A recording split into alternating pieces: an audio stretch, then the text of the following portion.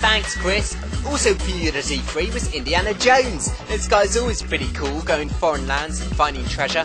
Uh, what we saw at E3, however, involved him beating up thugs in the street and smashing them through car windows.